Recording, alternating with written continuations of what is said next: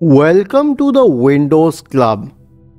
If you encounter service host local system high CPU usage on your Windows computer, then either read through this article on the Windows Club or simply watch this video I'll guide you to the resolutions. The first solution is to run an SFC scan.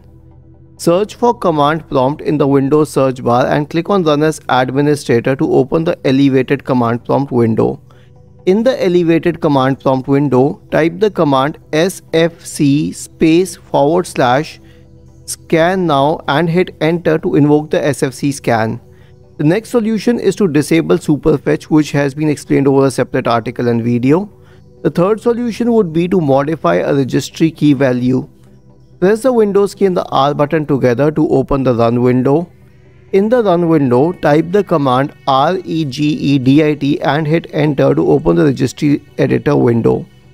In the registry editor window, go to HKey local machine, system, control set 01, services NDU.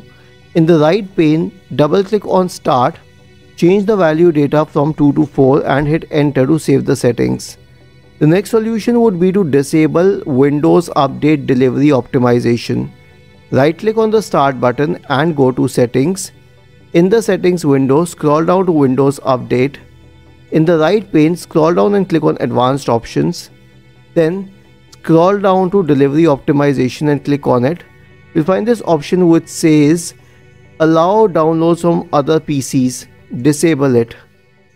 The last solution would be to troubleshoot in clean boot state. Press the Windows key and the R button together to open the run window.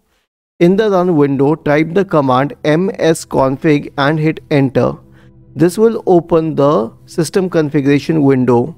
Go to the services tab. Check the box associated with hide all Microsoft services. If any other service is checked, please click on disable all. Click on apply and finally on OK to save the settings and after that restart your computer. Isn't this easy and interesting?